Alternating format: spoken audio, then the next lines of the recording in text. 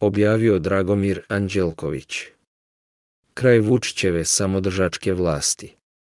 Svi znamo da SNS poslovično namešta izbore, ali da bi sada došlo do velike reakcije naroda, kakva je odavno trebalo da nastupi da nismo oguglali na bezobrazluke, potrebno je da Vučić onemogući i ono što je minimalno očekivanje građana. Ako uz pomoć svojih ljudi instaliranih u raznim opozicionim partijama, te stranaka koje u celini kontroliše skrpi vlast u Beogradu, izazvaće burnu reakciju drugih političkih subjekata i građana željnih promjena prestonica će eksplodirati jače nego posle zločina u osnovnoj školi Vladislav Ribnikar. Na stanje u Beogradu nadovezuje se konstelacija snaga na republičkom nivou. Možda će Alek morati da se nateže sa svojim tajnim ili javnim koalicionim saradnicima u glavnom gradu, ako tu sačuva udeo u vlasti, ali to mu neizbežno sledi u republičkoj ravni. Ako izgubi Beograd, bit će tamo još ranjiviji. Vučić ne voli anarhizam. Ne zato što načelno smatra da je taj pogled na vlast nerealan, kao što i jeste, već se skoro instinktivno zgražava kada pomisli na svet bez vladara. To proizlazi iz njegove autoritarne prirode i na postmoderni način od 2012. godine pod znacima navoda uspešne diktatorske karijere. Lažni car se identifikovao sa vlašću bez obzira na to, ne znači da se ne slaže sa pojedinim idejama poznatih anarhista. Sve što mu koristi, od koga god da potiče, sagledava van konteksta i pozitivno vrednuje. Alek je poklonik vulgarnog pragmatizma kombinovanog sa vlastodržačkom megalomanijom.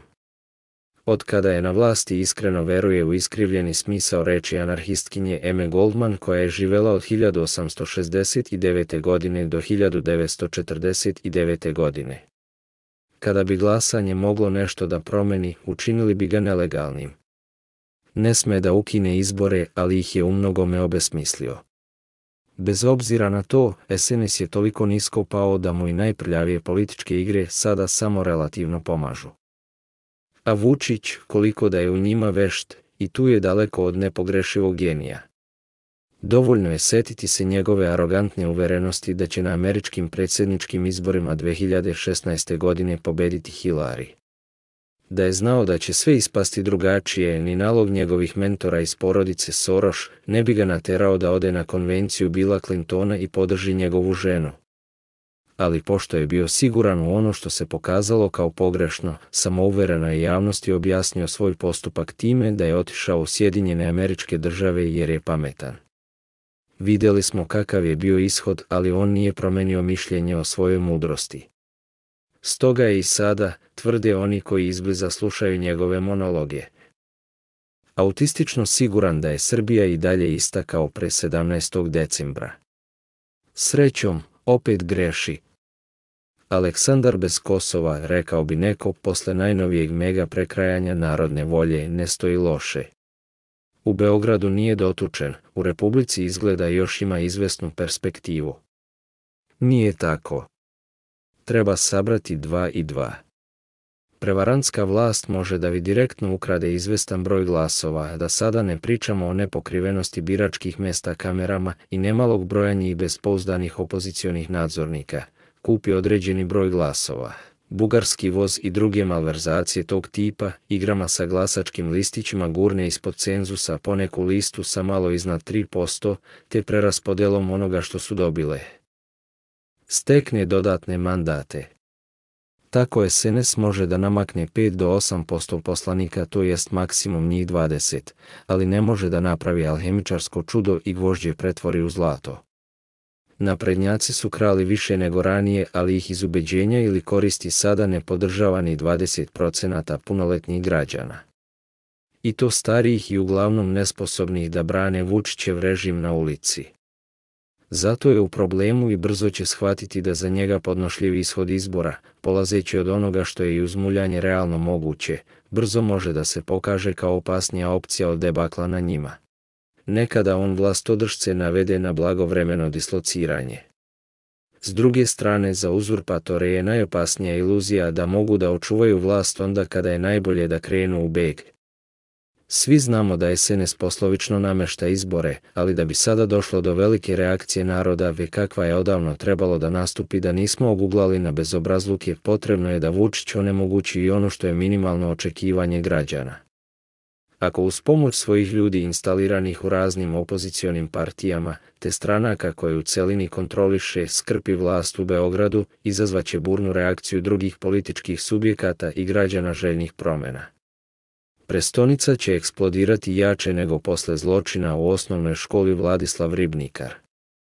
Ako napravi bilo neskrivenu ili tehničko-ekspertskom pričom zaklonjenu kombinaciju sa onima koji su mnogima delovali kao njegovi pravi oponenti, u problemu će biti i on i oni. Nezadovoljni i već delimično razbuđeni narod nije glup možda u prvom trenutku neće uslediti sveobuhvatni politički ustanak, ali će doći do serije turbulencija koje će razjedati neprincipijelno ujedinjenu takozvanu političku elitu. Ona, dok bude ubrzano gubila ono malo kredibiliteta što ima, sumanuto će se sukobljavati oko podele plena, čime će ubrzati sobstveno truljenje. Vučić će gledati da izbjegne da novim partnerima da i obećano, a oni će nastojati da uzmu i ono što nije dogovoreno. Na stanje u Beogradu nadovezuje se konstelacija snaga na republičkom nivou. Možda će Alek morati da se nateže sa svojim tajnim ili javnim koalicionim saradnicima u glavnom gradu, ako tu sačuva udeo u vlasti, ali to mu neizbežno sledi u republičkoj ravni. Ako izgubi Beograd, bit će tamo još ranjiviji. Imaće manje prestiža i resursa, a oni koji ostanu sa njim uveliko će tražiti potencijalne partnere za neku novu kombinaciju. Opet, ako protiv prirodnim političkim bludom sačuva prestonicu, drastično će povećati rizik od momentalne eksplozije sa sveobuhvatnim dometom. Teško je reći šta je za njega opasnije. Naš Alibaba će, da bi odložio detonaciju u bilo kojoj varijanti, prvi put od 2014. godine morati ozbiljno da shvati svojih 400 bolje pozicioniranih razbojnika, starih, eventualno dopunjenih novima. Ranije je svima njima, ma koje vrste bili, davao po nešto, kako je i kada hteo. Sa tim je gotovo. Dok još neko vreme bude na vlasti, Aleksandar X svemoćni morat će istinski da se cenka sa onima koji mu trebaju, da bi ostao na nestabilnom tronu. Klanovi unutar SNS-a već su digli glave i postoje indikacije da se povezuju u frakcije. Sluge su namirisale gazdinu nemoć on neće još dugo imati kapacitet da ih tretira kao stoku. Isto važi za mafiju spregnutu sa režimom koja se posle slučaja Belivuk i manjih porodičnih razračunavanja. Također propagandno predstavljenih kao borba protiv kriminala poprimirila. Ali sada ponovo zauzima osoran stav i sprema se da ispostavi zahteve onome koje je pomislio da je sve i svja. Slično stvari stoje sa predizbornim partnerima sa njegove liste i onim postizbornim koji su samostalno išli na izbore. Ne bave se oni politikom da bi ugodili razmaženom autokrati. U nemoći su se jedno vreme pred njim klanjali, ali grdno se prevario ako je pomislio da su tako postupali jer mu se dive. Mrze ga zbog poniženja koja su doživeli pošto su preživjeli izbore, došlo je vreme da uvrede počnu da naplaćuju kroz poskupelo učešće u vlasti. Veliko oporavljanje nastupit će ako preteknu posle predstojećeg urušavanja režima.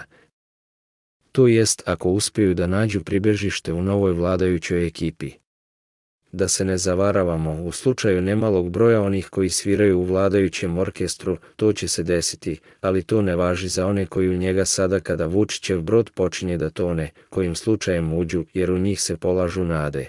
Najopasnije je kada se one iznevere, a nema vremena da se to zaboravi dok ne dođe trenutak za taj veliki transfer, kako bi produžio svoj vladarski vek, Vučić će morati da se koprca onako kako je odvikao od kada je prestao da nosi gajbice šefovima Srpske radikalne stranke.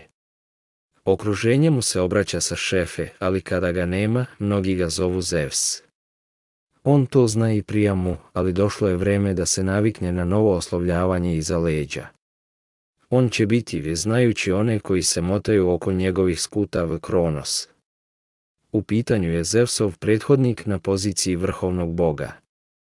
prema mitologiji vladao je tiranski, proždirući sobstvenu decu, dok ga podanici predvođeni posljednjim od njegovih potomaka, Zevsom, nisu svrgli i zatočili. Da li će baš tako proći Vučić?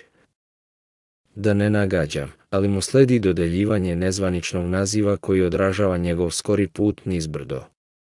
Deca umeju da budu surova kada daju nadimke, ali to je ništa spram brutalnosti uvređenih doglavnika kada prepoznaju skori pad gospodara. Da je tako možemo da vidimo i na osnovu naše novovekovne istorije. Knez Miloš je mnogo dobro uradio za Srbiju. Skoro je i neumesno porediti ga sa Vučićem čiji je vladarski bilans negativan. No, nešto im je ipak zajedničko, što komparativnu analizu bar u jednom segmentu čini prihvatljivom. To je sklonost ka orijentalnoj despotiji.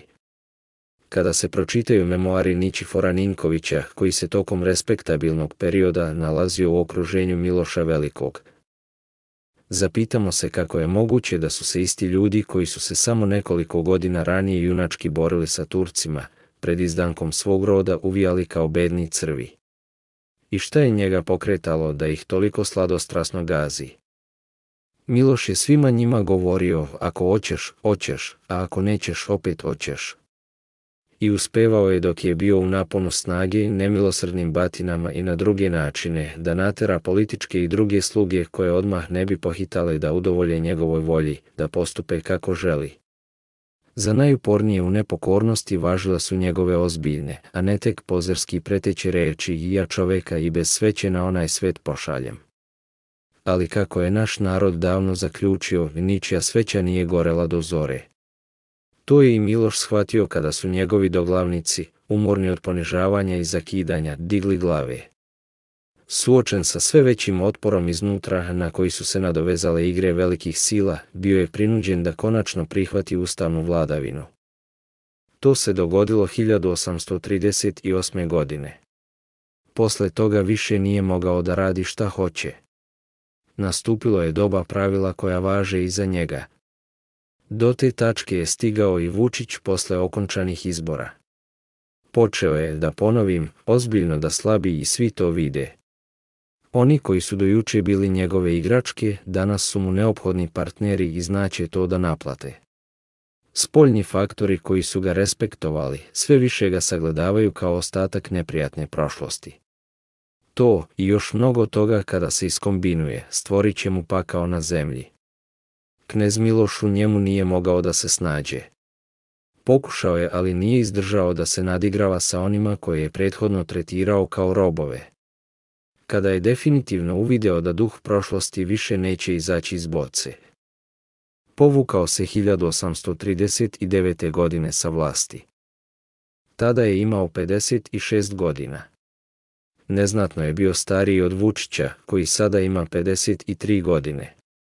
On planira da otprilike u uzrastu u kome je Miloš emigrirao i sam to krajem 2027. godine učini, tada će imati 57 godina posle završetka izložbe Expo i još koje faze Beograda na vodi, snuje da sa profitom proizašlim iz toga, ode na neko mirnije mesto. Shvata da mu vreme ističe, ali još ne razume kojom brzinom se to dešava. Zaboravlja mudru narodnu izreku, čovek snuje, Bog odlučuje. Brzo će spoznati njen smisao. Gospod je očito već rešio da je vreme da Alek pokupi prnje iz predsjedništva što pre to razume i krene da se dislocira daleko od Srbije. Veće su mu šanse da izbjegne da bude suočen sa svim što je nažao učinio ovoj naciji. Ali vlast je često slepa i odvede u ponor one koji su mogli da ga izbjegnu da su sami sa sobom bili pragmatični kao što su sa drugima. No, to je njihova stvar. Za nas je bitno sledeće, ako se sutra ne oslobodimo Vučića, relativno brzo hoćemo nemojte da vas histerično režimsko busanje u prsa prevari da je drugačije. To su puka glumatanja i namešteni, samouvereni, trzaji pred njegovo dalje urušavanje. Otpočeo je kraj Vučićeve ere. Pripisuje se Milošu Obrenoviću da je, kada je dizao drugi srpski ustanak u Takovu 1815. godine, narodu rekao Evo mene, evo vas. Na nama je da sada konačno poručimo Vučiću. Evo nas, ti odlazi. Autor je publicista i politički analitičar,